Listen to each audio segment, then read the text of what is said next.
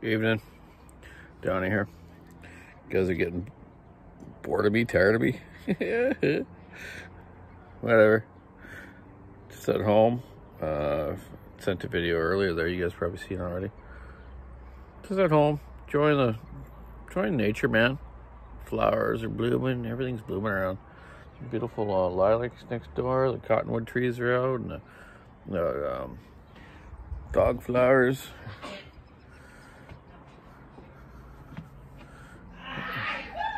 Oh, Shelly's getting a little asthma attacked in there. Well, the flowers blooming doesn't help her allergies. So, hey, yeah, you know, today I um, showed you what I was doing there. And tonight, um, came home, made a gourmet meal. Uh, quite a cook, too. I like cooking. Love cooking. So I made some chicken quesadillas tonight, and Shelly said they're the best she's ever had. That's cool. And um, I just wanted to talk about some guys made comments on those old 2100 and uh, 11100 that I had there. I showed you earlier, and they a lot of them leak oil, and it's because they're what these older saws they've sat around for so many years. If you guys look behind the 1100 and the 2100 mufflers, the two oil hoses there. You got your automatic oil hose and your manual oil hose, and they're probably deteriorated and rotting along with the rubber mounts of the gas tank to the to the chassis. Um, they get old, they get they've had oil on them and they deteriorate. Eh? Where the new spring mounts are, are definitely an improvement uh, for for anti vibration. Plus, um, they don't wear down like that. So, um, and you guys got those there and they're leaking oil. Um, take your muffler off and look at those hoses. Um, install some new ones. The one hose for the um, uh, automatic oiler has like a um, a check valve, and it's it's sometimes those check valves get seized too when they sit for a long time. So when you get the hoses off, just get take a little tiny punch and and and hit that ball. You'll see it in the where the fittings are where the oil hoses go on, and it'll release that that little ball and spring, and your um like I say, I'm just thinking if it's the manual or the oil or the automatic one. Doesn't matter. That's that's how you need to fix it. So uh, put new hoses on, pull the one out of the tank, and check your screen. Make sure it's not like had so much oil, had oil in there for 20 years, 30 years, and now it's solidified, right? It's a plastic kind of screen in there um, on the end of that oil oiler hose. And sometimes they collapse and then you won't get any oil at all to um, the manual and, and the um, automatic of it. Yeah, that's just a little tip. Yeah, it works. Uh, Oilers on them were really good. Actually, brass gear, um, Oiler drive system worked really well for a long time. Um, and sometimes with those tanks too, where the oil hoses are, they have a, they have a, it's a seamed tank. They, they, they, they like bonded two magnesium halves together to make it. And sometimes they split up front and it'll leak there too, the, the chain oil. And it'll, if the hoses are good, it'll still leak chain oil and dribble all over your shop floor. So you can either don't, just don't leave oil in it, or keep oil in and have a, a, a, a one of those um, pads underneath it that suck up the oil, right? Sawdust, whatever, cat litter, suck the oil. Um, yeah, who cares, right? If it's split a little bit, whatever, man. Just just don't put oil in it. Put oil in it when you want to use it. Um, that's all I can say about that. Um, but good old units. I, I meant to say those 2100 years ago that didn't have a decompression valve. So, so me and my dad, some, and they had such a small little starter handle on them for a high compression chainsaw. So what we did is we actually would put a couple extra put an extra base gasket under the cylinders, you know, and it would increase the squish, but whatever. Um, it, the guys could start them. Like, I've had mechanics working for me through the years that they just couldn't start 2100s. and pull their shoulder out, but I, you know, I have a knack to it. I, uh, I drop start saws, you know, throw it away from you as you yank it, get it up to the compression stroke and give it a, give it a throw, then, then, then pull at the same time and that that just seems to work well for me on big displacement old saws that don't have a, a decomp or, or they do. So yeah, I just wanted to say that um, about those saws. A couple guys commented already about that. And then some of those old saws, like on the back of the 2100, you have a um, a plunger for the for the manual oiler, to, like an override. So if you're running a real long bar in a big big bucking situation or you're milling, you pump that, but pump really slow because it, it puts pressure on that one line under the muffler. And it, it, they had these little clamps on there years ago, and people usually lose them or they don't put them back on.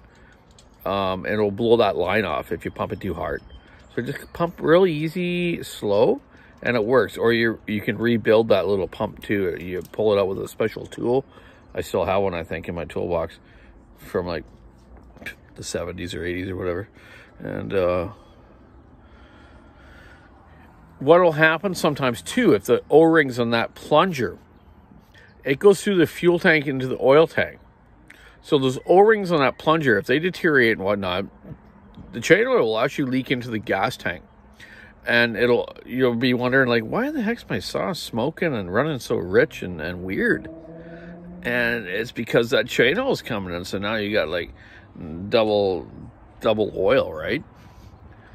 It, uh, won't seize the motor, but it, it'll definitely keep the mosquitoes away. yeah, because those things run smoggy anyways, right? So they ran a really rich old school motor, right? But um, yeah, I can't wait to um, next week. One night, I think I'll spend a little time and go up there and and uh, do that 2100, and I'll get it running. and I'll show you guys. I'm gonna put on my Alaska mill, and I'm gonna go to my one of my coworkers' uh, mom's house. She's got a log there that's sitting there, and I I wanted to do a video of me doing a little bit of milling, and um, I'll put my old Alaskan 36 inch mill on there. Um, some uh, 404. Uh, I don't really have any 404 ripping chain, but my 2100 has 404 on it.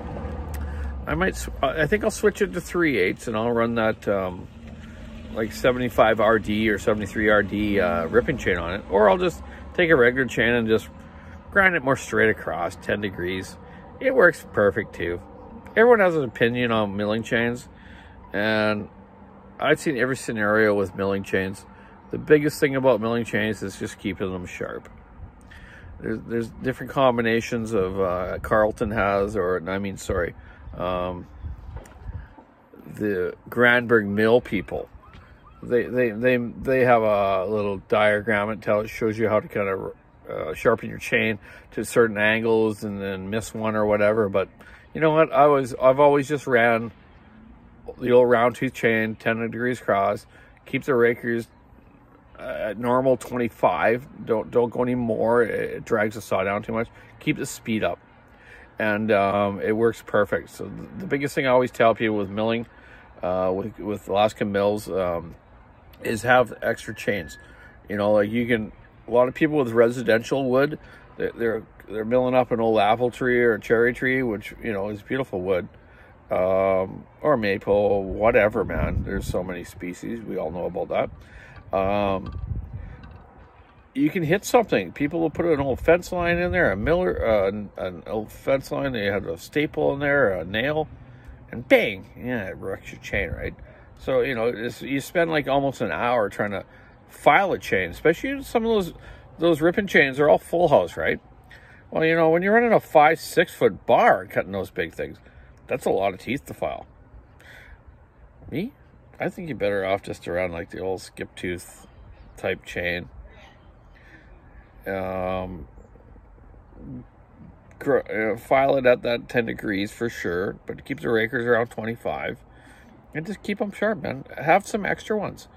One time, me and Johnny, my brother, we were building up the cedar log. It was funny. Or my friend Chad is at his house, and we had this the wood bug sawmill, which I still have one. It's really cool, actually, a real cool system. Um, so we're cutting this log, and then we get into about quarter away of it, and it um, we hit something. So like bang, you know, chain kind of stops and like wrecks it, right? So we change the chain we go again for about another six, eight inches. Bang again, it, we hit something else. So I'm like, oh my God, what the heck's going on here? So we decided, hey man, let's just stop. So I, I took my other saw and I, I, ripped the center of this log open, and I looked at it, and this thing had like an aluminum um, telegraph cable. We figured it was a telegraph cable because we were we were we were milling this wood up by um, the army um, rifle range, an army area up behind Nanaimo here, and they used to have these telegraph cables, and they had it all wound through the trees, right? Well, I guess this one went through this, they had it stapled up against the cedar tree with one of those little transformer things and you know they stopped using it and then it grew into the tree. So it grew like crooked into the into the log right into the tree so man after like four chains that's when i figured out we ripped it open and looked at it like yeah, it was pretty cool. Whatever. It was an experience, right? Like, you know, like, you know, it was a bummer that that happened. We got nowhere that day milling wood. But um, just a good experience. It was funny. Yeah. So that's what I always say, man. If you're going to do milling or um, even just firewood, man, have yourself a couple chains. Chains aren't that expensive. And if they are in your area, well, then source out a better um, a retailer or person to buy them off. We sell chain in, in BC here at our shop, uh, about the cheapest of anyone. If you go by the Oregon list price, oh my goodness, you're paying a lot of money for it. That you know, an average 24 inch chain or something should be like 30 bucks or something, right? You know, that's nothing. Have an extra chain. Don't run your saw with a dull chain. You wreck the bar, you overheat the engine, and you overheat yourself. So, so why would you want to do that? It just doesn't make sense. So, I don't know. I rambled on about that, didn't I?